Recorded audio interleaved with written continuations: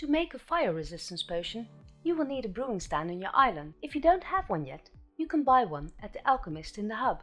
The fire resistance potion grants you immunity to fire and lava. There's only one level in the fire resistance, however, you can make it last longer. Before we get started, it would really help me a lot if you click the subscribe button. Place your brewing stand on your island. If you break it, it won't show up in your inventory again, so be careful. We start with making an awkward potion with one nether wart and three bottles of water. Shift click to place them immediately in the right spot. You can buy the nether wart and the water bottles or even empty bottles at the alchemist. Place one magma cream in the upper slot. This will make your fire resistance 1 potion, but it will be only effective for a few minutes. There are two upgrades possible for duration. The first one is by adding redstone dust. This will add a medium duration to your potion. Once the potions are ready, you can shift click them to place them in your inventory or just drag them there.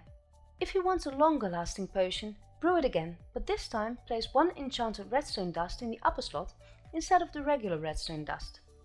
The enchanted redstone dust is used in potions for duration. The duration can be even longer, depending on how high your alchemy level is. These potions aren't great to sell. If you make these, it's best to use them for yourself. If you've liked this video, please give it a thumbs up and as always, thanks for watching.